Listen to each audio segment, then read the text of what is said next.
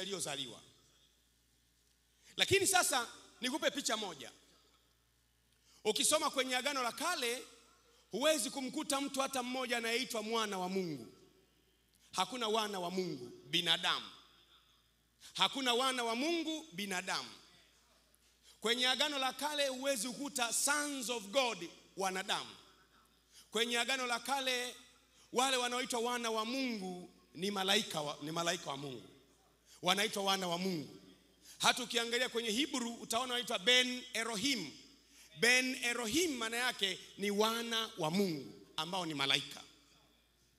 Ndiyo maana utaona kwenye Biblia kwa mfano hao wana wa Mungu walipojihudhurisha mbele za Mungu, shetani na yeye akajihudhurisha nao. Sasa mtu anaweza kusema kwamba ni watakatifu, labda walikuwa kanisani, alafu shetani akasogea. Hapana, ni wale malaika watakatifu walikusanyika mbele ya Yehova, wanataka kujadiliana jambo fulani fulani, wana wa Mungu. Shetani anasogea pale, anataka kusikilizia. Kwa hiyo wana wa Mungu, sons of God, does not refer to human in the Old Testament at all. Sons of God does not by any way refer to human in the Old Testament. It refers to angels. Wana wa Mungu kwenye Agano la Kale hakuna mahala popote binadamu human being anaitwa sons of God, wana wa Mungu. Utaona maeneo mengi kweli kweli, kwa sababu nakimbia kimbia kwenye kitabu cha Joshua cha, cha, cha Ayubu utaona wana wa Mungu, wana wa Mungu, wana wa Mungu, wana wa Mungu, wana wa Mungu. Kwa wakati wako tafuta ugundue Agano la Kale, mwana wa Mungu ni malaika. Kwenye Agano Jipya, baada ya adoption, baada ya Yesu kufa msalabani, tunapompokea Yesu tunaitwa wana wa nani? Wa Mungu. We are called children of God, sons of God. Lakini kwenye Agano la Kale hakuna wana wa Mungu. Kwa hiyo anaposema huyu kwamba wana wa Mungu waliwaona hao binti za wanadamu wakajitwalia kwao wake, wale wanaosema wana wa Mungu si wa binadamu, ni wale malaika walioshuka kutoka mbinguni, walikuwa wanaitwa wana wa Mungu. Wale malaika walioasi wakashuka kutoka mbinguni walikuwa wanaitwa wana wa Mungu. Walipofika hapa duniani wanavaa mili, ni binadamu ni malaika, walikuwa na nguvu ya malaika, wanavaa mili.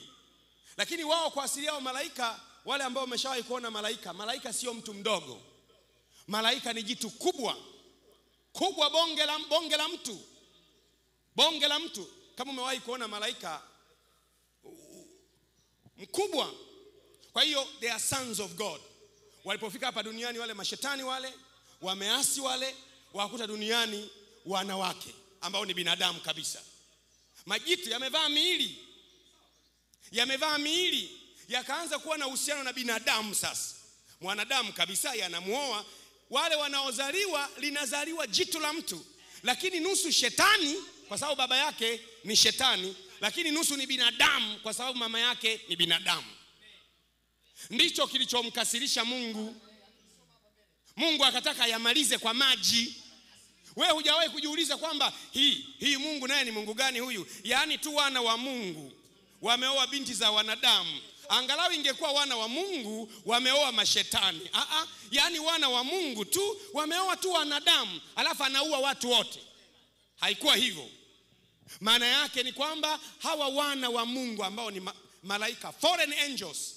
Sons of God refers to foreign angels ambao wanaweza kuwa na mili kama unavyojua tulijifunza kwa pamoja, malaika walikwenda kwa Ibrahimu wakiwa na miili, wakala chakula, kanywa maji. Malaika walikwenda kwa Rutu wakiwa na mwili, wakala chakula, wakanywa maji. Yakobo alipokuwa anatoka kwa alikuwa anatoka kwa Laban, akaona kundi la malaika, akaita Mahanaim, binadamu wana miili. Ndivyo hawa wana wa Mungu. Sikiliza vizuri sasa, hawa wana wa Mungu ni wale malaika walioshuka wale mashetani wale waliposhuka hapa duniani wana miili, wakawa wanaona hawa mabinti wa wanadamu, wanawapenda, wanawatamani. Kwa kawaida mashetani wana desturi ya kutamani wanawake ambao ni binadamu, sikilize vizuri.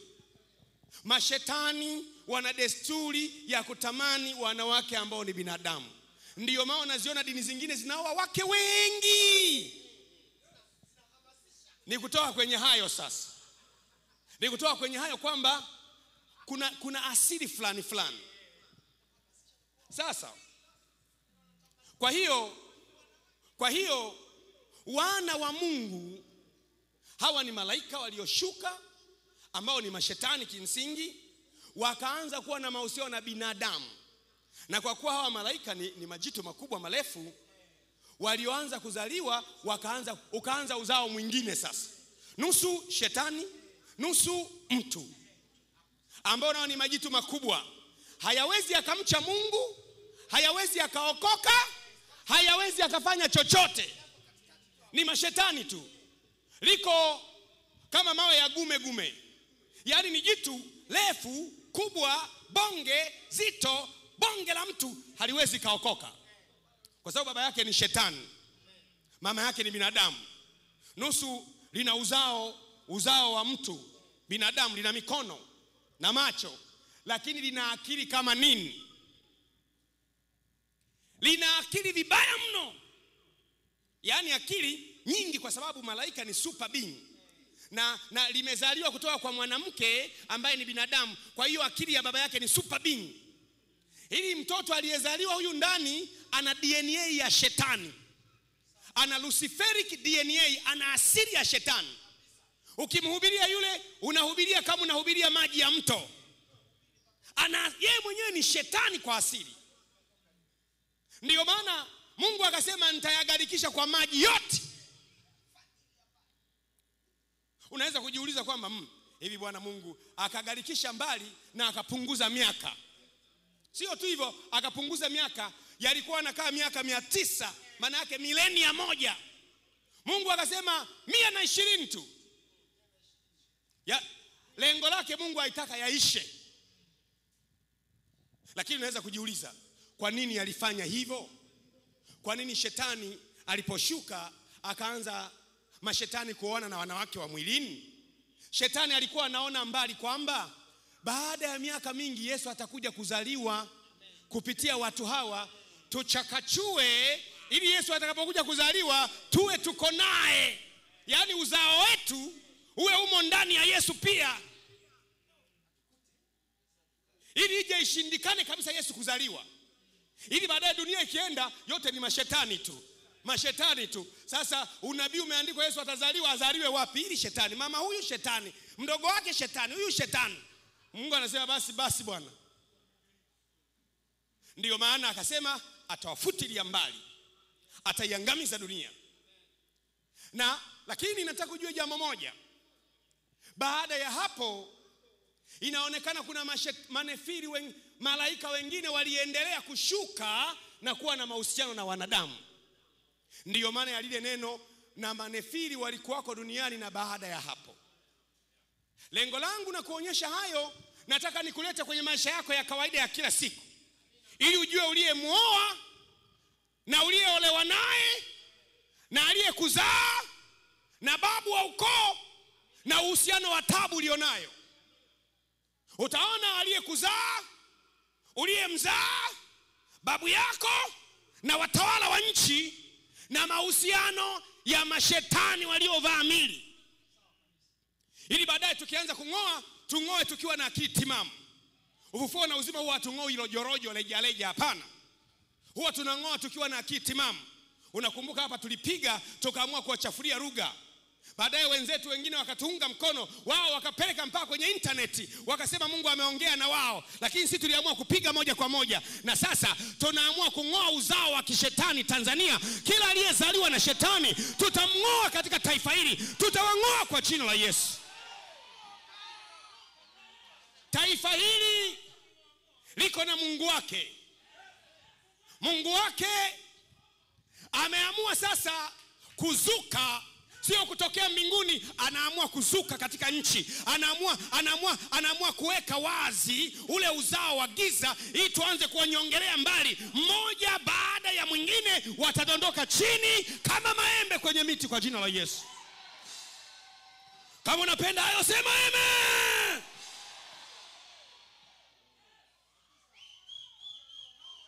Gwajima umeanza utakufa utakufa wewe kabla ya mimi mimi nimetoka juu wewe umetoka chini.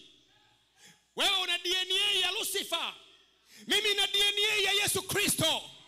Wewe una damu za watu ulioangamiza na kuwaua. Mimi nina damu ya mwanakondoo iliyomweka msalabani. Amen. Kumekucha tanzania. Narudia tena kumekucha tanzania. Tena zamani nilikuwa naongea maneno ambayo nayaona yanakuja kwa mbali nilikuwa nasema yuko morogoro lakini anakuja. Namwangalia ni mkubwa lakini anakuja. Yuko morogoro anang'aa lakini anakuja. Anaelekea dar es salama nilikuwa namwangalia kwa mbali lakini kwa sasa namwona ameshafika. Yuko tayari kushusha bendera zote za giza na bendera ya mwanakondoo ipande. Haleluya! Amen lakini lazima tucheze na uzao. Uzao. Tucheze na nini? Uzao. Alafu utaona sasa. Utaona baadhi yetu. Unakumbuka nilifundisha somo raia wa ulimwengu ujao na ulimwengu uliopo kama unakumbuka.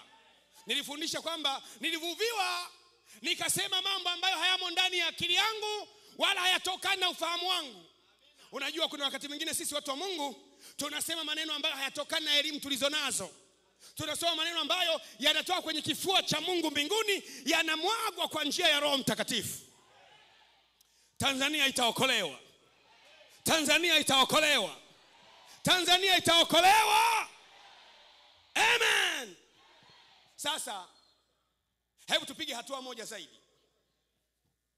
Tuangalie sasa uzao wa kishetani twende taratibu. Kwa hiyo malaika walioasi mashetani wakawa na mahusiano ya kindoa na binti za wanadamu ambao ni binti zetu yakazaliwa majitu. Na nitumie muda huu kwa cha ufunuo. Ni kitabu kinachomweka wazi shetani. Kile kitabu kinachosema henoko ni kitabu cha agano la kale lakini kinamweka shetani wazi. Yaani wazi kuliko ufunuo unajua ufunuo unaongea kwa mafumbo. Chenyewe kinaongea yani moja jumlisha moja ni mbili. Nikaelewa ndiyo sababu kumbe hawa waandishi kipindi kile mtakatifu konstantini wa roma akaona bwana kitu hiki tukikiingiza tutagunduliwa mapema kabla ya hapo. Lakini kulikuwa na wale wakristo wa zamani wanaitwa christian orthodox. Wako kule ethiopia. Unajua waethiopia walikuwa na uhusiano na israeli yule malikia wa sheba alikuwa ni myahudi. Na alikuwa ana uhusiano na waisraeli. Wao Waethiopia wa, wa, wa, wa, wa, walikuwa wanavisoma vile vitabu. Kile kitabu cha henoko wanasoma wao. Lakini ulimwengu wengine wa wakristo hapana. Juzi juzi sasa baada ya kuwa juzi juzi tu wamegundua kama unaweza kusoma biblia sema red, red sea scroll discovery. Red sea scroll discovery. Juzi juzi tu kijana mmoja anachunga mbuzi akawa anarusha mawe. Kwenye pango aliporusha jiwe moja akasikia sauti alikuwa anatafuta mbuzi. Anarusha jiwe likaenda kupiga likasikia ntung. Ile sauti kijana akasema hapana akaenda kuingia kwenye mapango yale. Akaingia mle ndani kuangalia akakuta chungu kubwa. Lina vitabu vyote mtu wa kale alificha pale akakuta mle ndani na kitabu cha henok. Wagundua ah kumbe ndio maana wale mababa wa zamani kule ethiopia wanavisoma. Vimo. Lakini ukisoma unashangaa kweli kweli. Nikashangaa mambo yote niliyoyakuta mle ndiyo tuliyoyafanya ufufuo na uzima tayari. Kurudisha kila kitu yani yapo tayari. Nikashangaa kweli Ha! kumbe tulikuwa tunajibamizia tu. Kumbe yapo. Kumbe ndio maana watu wanapiga kelele eh, nyie mnarudisha. Kumbe yapo yameandikwa. Na, ku, na kutaarifu kwamba tuko mbele kweli na ndio maana tunasubiri sasa.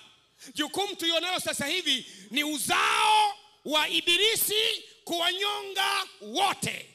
Alafu uzao wa mungu nawili duniani kwa jina la yesu utawanyongaje? Nitakufundisha namna ya kuwanyonga.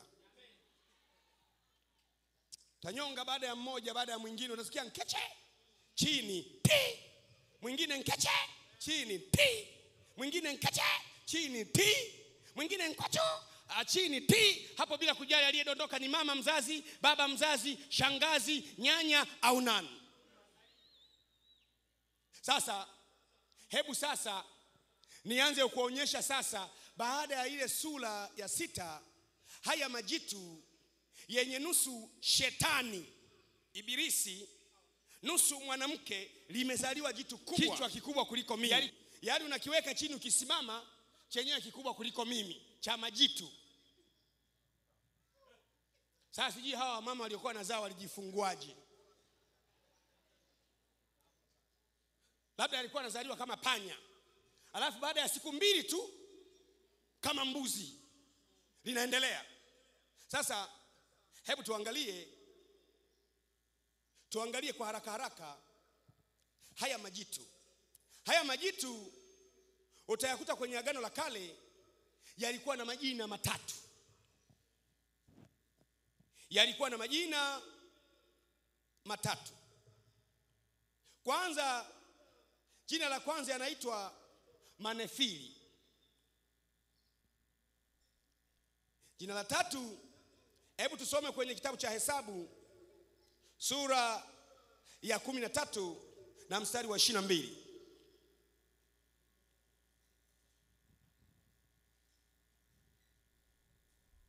Yalikuwa na majina matatu. Kwanza yanaitwa manefili. Jina jingine wanaitwa wana wa anaki. Jina lingine wanaitwa walefai walefai. Jina jingine wanaitwa wazamzumu lakini wote wamo ndani ya Biblia. Na waliishi juzi juzi tu. Na wengine bado wanaishi leo tanzania. Wee! kamata kubwa yao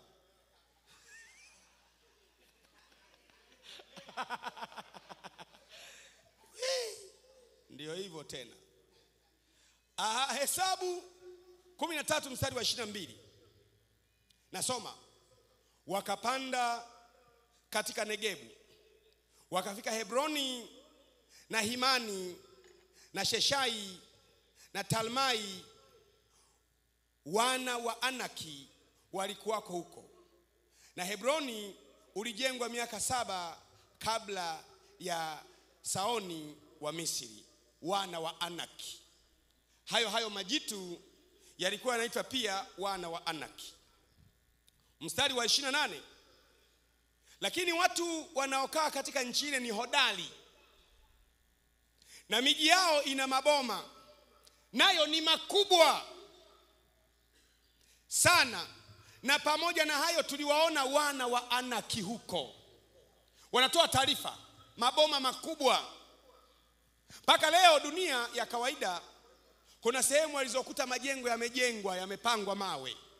Unakuta jiwe moja ni tani kumi na nane lakini yamepangwa mpaka juu.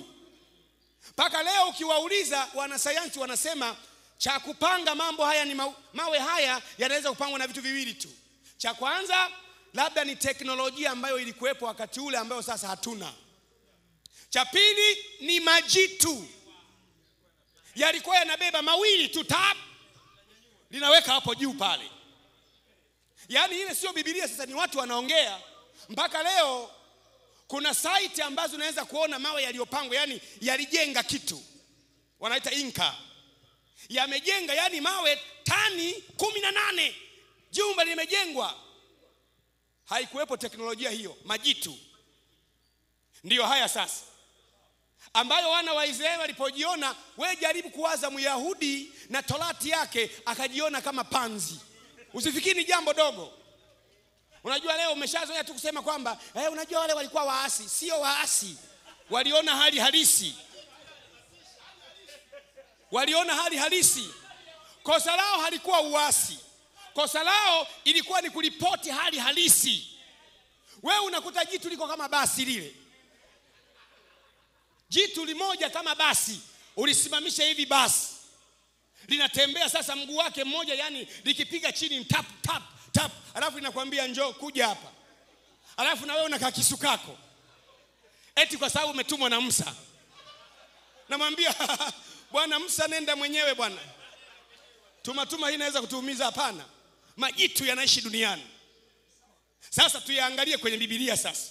Ugundue kulikuwa na watu sio wa kawaida ambao asili yao si mungu. Wanaitwa ule mstari wa wa wa wa wa wa, wa. Ule mstari nimesoma mstari wa 28 lakini mstari wa sura ya 13 mstari wa 33 inasema hivi. Kisha huko tuliwaona wanefili. Kumbe anaitwa manefili. Wana wa anaki. Aa, kumbe wanefili ndiyo wana wa nani wa anaki kwa hiyo kila mahali utakapoona wanefili ujue ndio wana wa anaki jino lake moja kama ngumi yangu hivi. Yaani simba akiliona anakimbia mwenyewe. Yaani wewe hujawahi kuwaza kwenye Biblia kwamba eti wakati wa theruji akakamata simba akamchana vipande vipande. Unawaza wewe? Mtu mdogo mdogo kama pastor Davi wa platform kwaya umchane simba umchane simba yaani ni jitu simba akiliona anaanza kukimbia. Anatafuta mahali pa kujificha.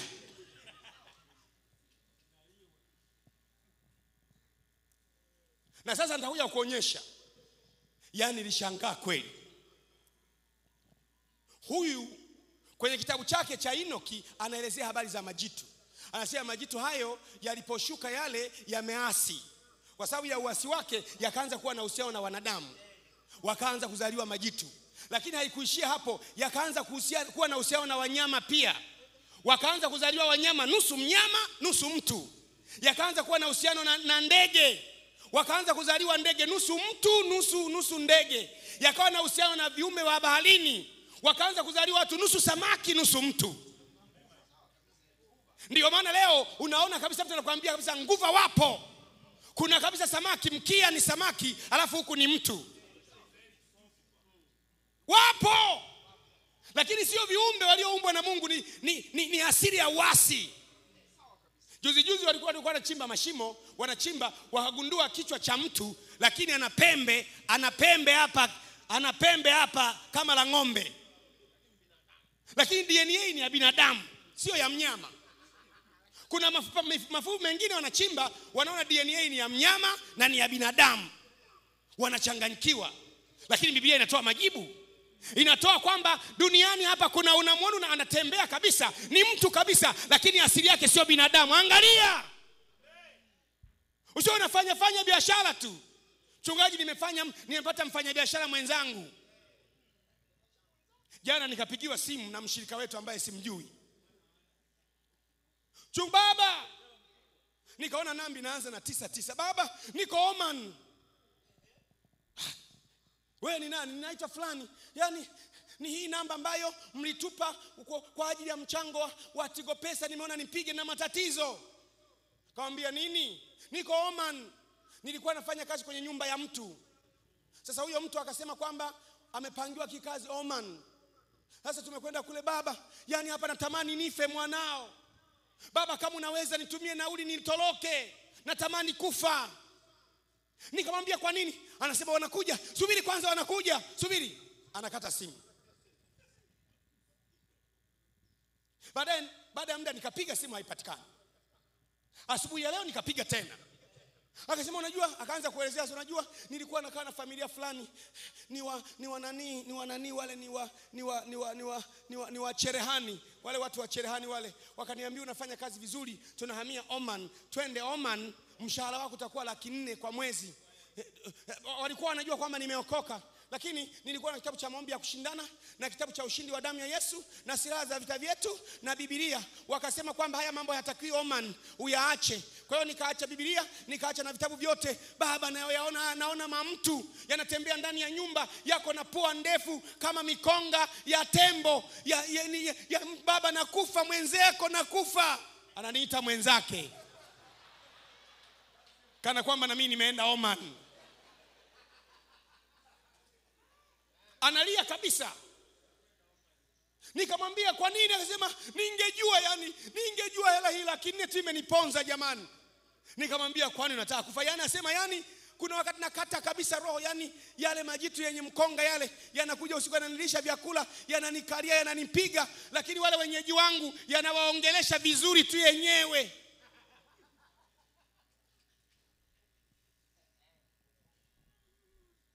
Can I tell you something? When we live in this world, we have to understand there are messengers of God and there are messengers of the devil. They are all here on the earth. They are ambassadors of the living God. And also, they are ambassadors of Hades. They are human beings, just like I am. They can move, they can talk, just as I am. But they are ambassadors of the devil. Kuna binadamu kabisa anaongea, anazungumza, lakini ni wa kuzimu. Asili yake ni kuzimu kabisa, lakini bila kujua unaweza kufanya nayo biashara.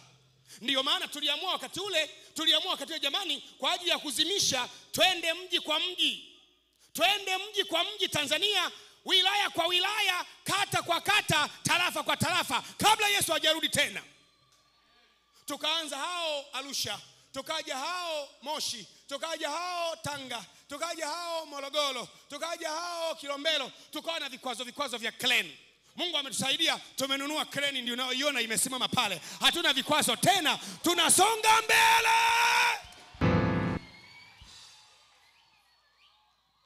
Lazima tupeleke ujumbe huu haraka, tupeleke ujumbe huu haraka, tuambie watu ni saa ya ufufuo na uzima duniani, sio tu Dar es Salaam, ni duniani. It is the time for life and resurrection on the earth. The revival is going to sweep nations. Haya, tuyaone haya. Kwa hiyo wanaitwa wanefili au wana wa Anaki, au jina jingine wanaitwa walefai. Tuanze sasa kuwasoma haraka haraka, alafu twende wote kwa pamoja. Tasoma maandiko mengi ili kukusaidia wewe. Mwanzo sura ya kumi na nne na mstari wa tano. Mwanzo sura ya kumi na nne na mstari wa tano. Nasoma kwa jina la Yesu. Na mwaka wa kumi na nne akaja Kaedolama na wafalme waliokuwa pamoja naye, akawapiga Warefai. Pigia mseyo neno Warefai, ndiyo hayo hayo manefili. Warefai katika Ashtoreth, Akanaimu na Wazuzi katika Hamu na Waemi katika, katika Shawe Kiriathimu. Lakini nilikwambia hawa hawa Warefai ndiyo hawa hawa manefili, ndio hawa hawa wana wa Anak, ndiyo hawa hawa jina jingine wanaitwa Wazamzumi. Unajuaje hayo? Kumbukumbu la Torati sura ya pili na mstari wa ishirini. Kumbukumbu la Torati sura ya pili na mstari wa ishirini. Nchi hiyo nayo yadhaniwa kuwa ni nchi ya Warefai. Hapo kale walikaa humo, lakini Waamoni huwaita Wazamzuni. Naona sasa walikuwa na nchi yao kabisa. Yaani lengo la shetani lilikuwa it was world conquest. Yaani anaanza uzao wa majitu mashujaa, baadaye dunia yote ijae hayo majitu, watu waondolewe. Hiyo ndio ilikuwa lengo lao, na liko lengo hilo mpaka leo. Tunaposimama hapa, kuna utawala mwingine wa giza unatenda kazi na wenyewe uchukue Tanzania kabisa kabisa. ndio maana ukihusia Tanganyika watu wanatoa meno kama wamerogwa. Ukisema Biblia inasema nitawaingiza katika nchi mpewao na Bwana Mungu wenu. Sisi tuliopewa na Bwana Mungu wetu ni ipi sasa? Kwa sababu Tanzania, Tanzania walitengeneza Karume na Nyerere, hatujapewa na Bwana Mungu wetu. lakini Tanganyika tumeikuta. Tanzania ni Nyerere na Karume wakachanganya udongo wawili. Unaona sasa, hizi ni kweli, lakini nchi mliopewa na Bwana Mungu wenu Tanganyika sasa, kwa sababu ilikuwepo yenyewe tu Tanganyika sasa, mpaka kulikuwa na jeki zinaitwa Tanganyika jeki. Jamani, mimi sio mshabiki wa serikali tatu wala mbili. Mimi mshabiki wa serikali ya mbinguni, serikali ya Yesu, kwa sababu hakuna mbili wala tatu. Unaona, wale mabwana wanaitwa wazanzumi China jingine. Kwa hiyo nakupa mfano, ukiona wanefili, ukaona majitu, ukaona wana wa Anaki, ukaona wazanzumi, ukaona walefai, ni hao hao. Sasa ili tuwajue vizuri, hebu twende pamoja nao sasa mpaka Goliati. goriati alikuwa ni mmojawapo wa wazanzumi na alikuwa na ndugu zake, kaka zake walikuwa kama yeye. Unajua Biblia ni poli la ajabu. Nimesoma kabisa, Goliati alikuwa na kaka zake kama yeye, wamezaliwa na mama mmoja, yote eh, mdomo eh, yaani likishindwa kuchoma mkuki na kung'ata.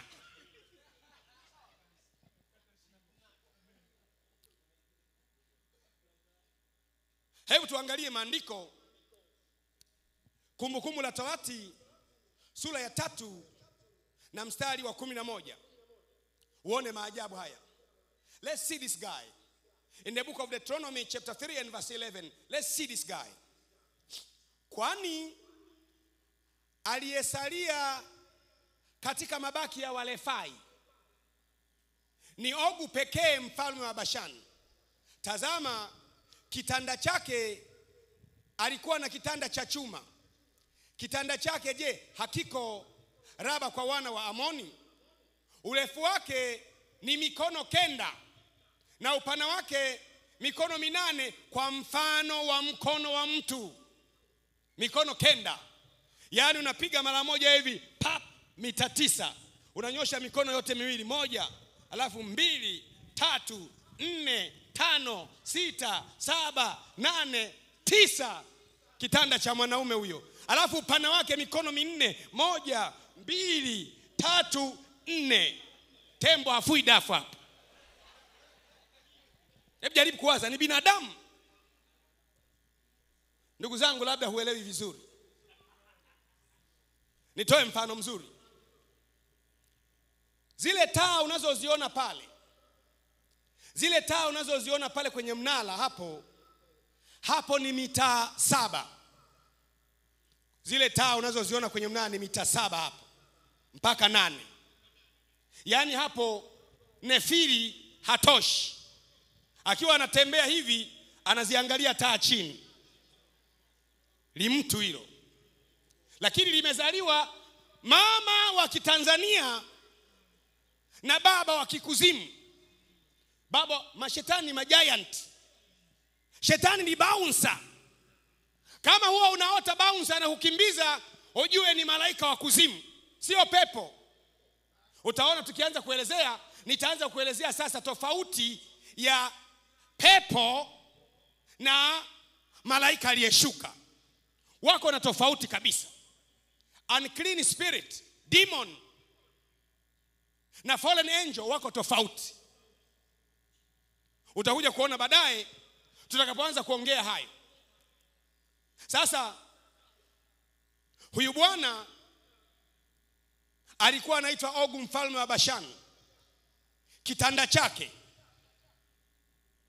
ndiyo maana utaona kwenye bibilia kwa mfano wanasifiwa mbuzi wa Bashani, ng'ombe wa Bashani. Hata mbuzi wa Bashani walikuwa tofauti na mbuzi wengine. Ng'ombe wa Bashani walikuwa tofauti, lakini utaona ule mstari wa kumi na tatu na nchi ya Gileadi iliyobaki na Bashani yote, maana huo ufalme wa Ogu niliwapa nusu ya kabila ya Manase. Manase chukua ufalme wa Ogu. Nchi yote ya Ogobu nayo ni Bashani, nayo nchi hiyo yaitwa ya Walefai.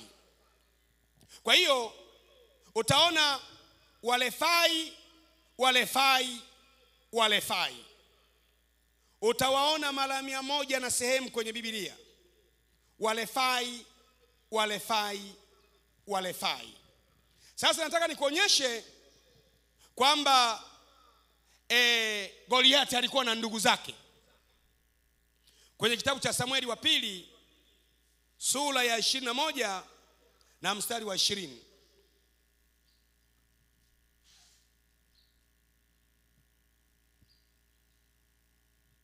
ndiyo maana hujawahi kuwaza wana wa israeli goliati ilipotokea wanakimbia.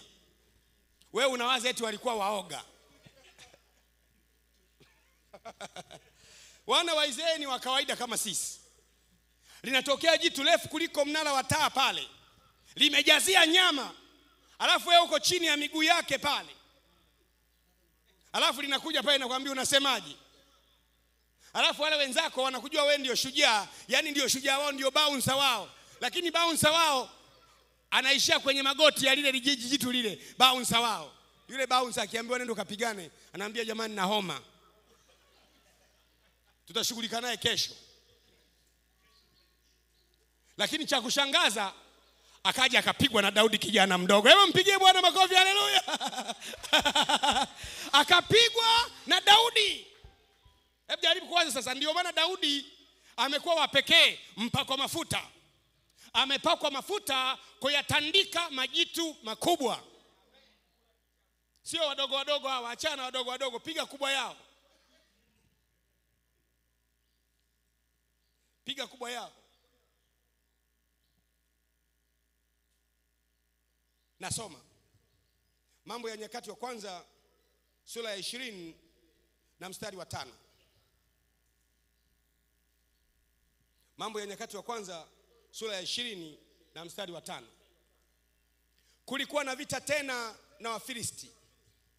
Na erinami mwana wa yaili akamuua rahimi nduguye goriati mgiti ambaye mti wa mkuki wake ulikuwa kama mti wa mfumaji.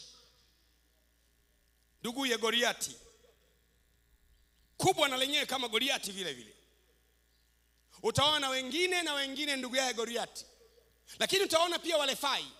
Walefai hawa majitu kwa asili yake yalikuwa na vidole sita miguuni na mikononi. Ndiyo maana unaona leo tumebakiwa na vdna vina vina vina vina vina vdna vina vinaning'inia. Unashangaa unazaa unazaa katoto. Kuna kakidole kengine kanaota hapa pembeni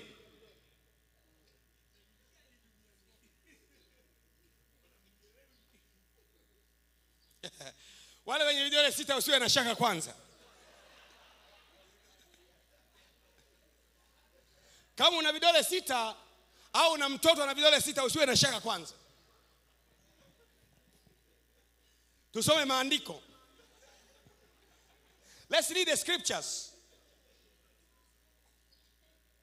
Second samuel 21 20 second samuel 21 20 kulikuwa na vita tena huko Gati ambako kulikuwa na mtu mrefu